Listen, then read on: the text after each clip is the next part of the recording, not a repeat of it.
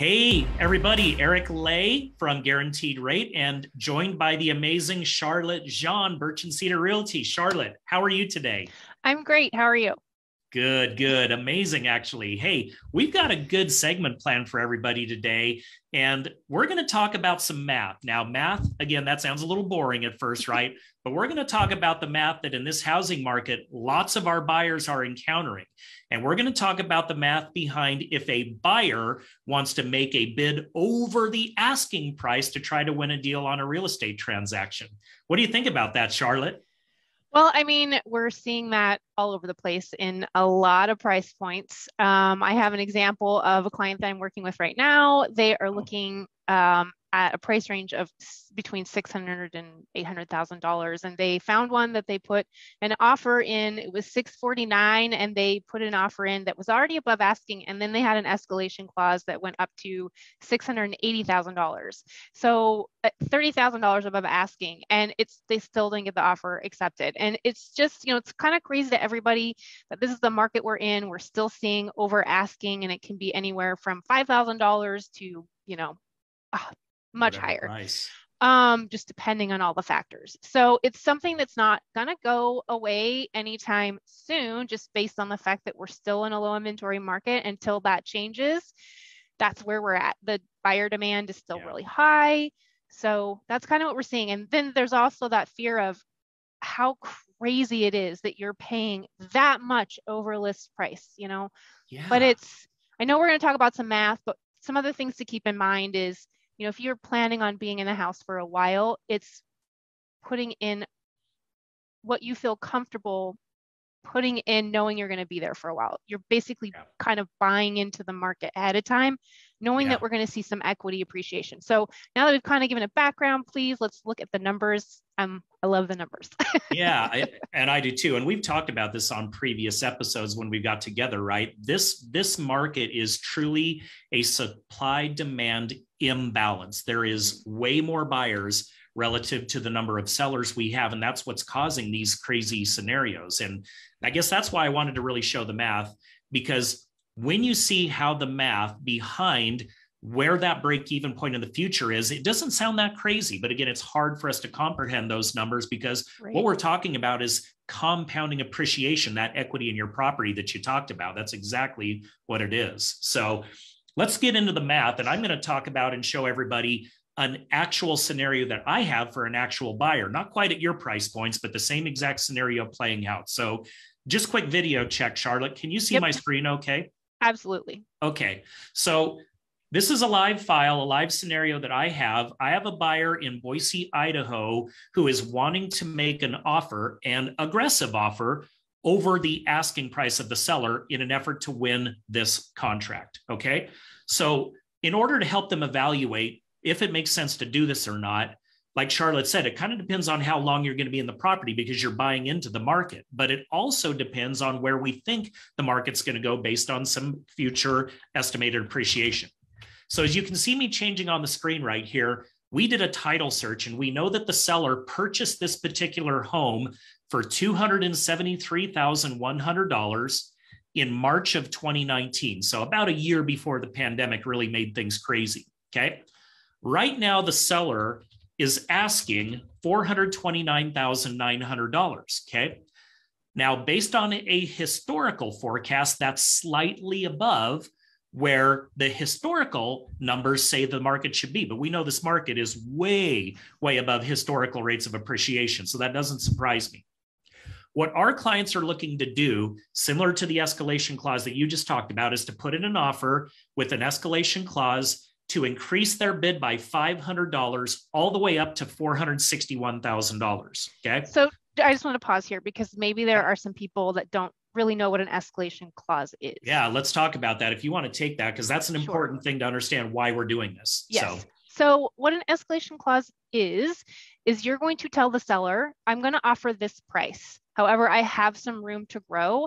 And if there are other offers that come in that are higher than my initial offer, I'm going to offer $500 in your example over that that highest bid so that I can beat that bid by $500.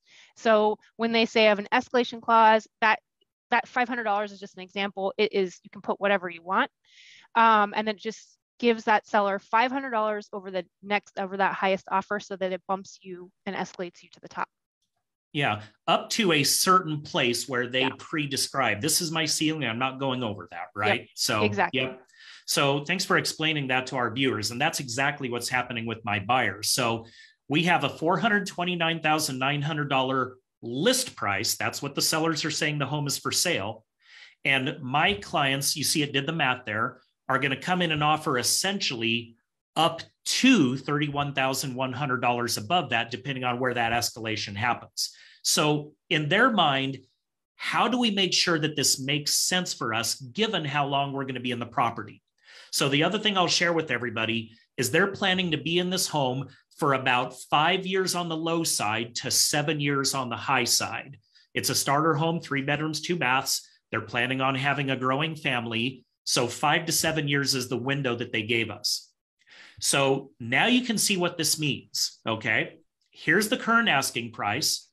They're offering up to, but not to exceed $461,000.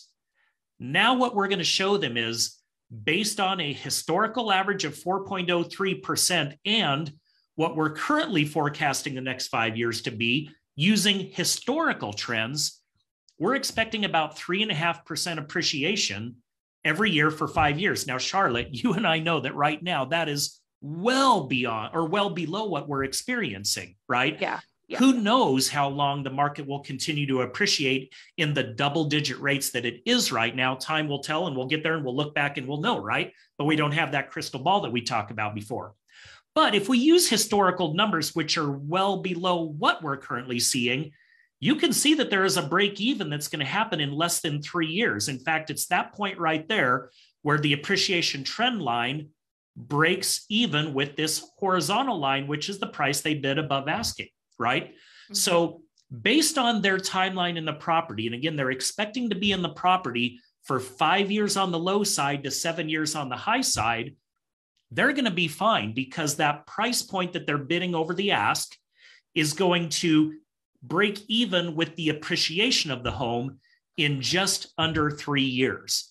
Now, again, we don't know what's going to happen. The future doesn't always show up in the crystal ball, but I feel really confident sharing this with my buyers because this is well below what the current market's rate of appreciation yeah. is right now so i would even call this a absolute worst case scenario based on what we're seeing right now what are your thoughts on all that numbers i've been talking a long time i mean they're they're it's really enlightening um, to show that to clients to know you know it depends on how long you're planning on staying there if you're a flipper nope probably not going to make a lot of sense to do any of that. But if you're somebody who's looking to be there for, you know, three to five, like the average I think is eight years now for that sellers remain in their home. Yeah. Um, which right now we are seeing like anywhere between 18 to 22 percent appreciation year over year and a standard appreciation is like 3 to 6 percent year over year right. so even that is pretty low for uh, standard appreciation so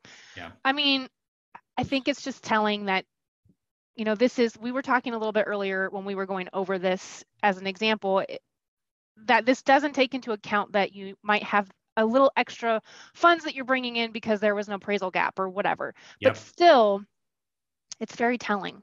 Yeah, it's, it's, not as scary when people look at their break. Not as scary, yeah. And and the other thing I really want to emphasize for everybody, this isn't even taking into account your amortization gain. And so when you own a house and you have a mortgage, there's a portion of your payment that goes back to paying your principal balance down. Now, certainly the large amount of it goes to interest on the loan, but there is some that goes to principal. So every single month that you make a payment, your principal balance goes down just a little bit.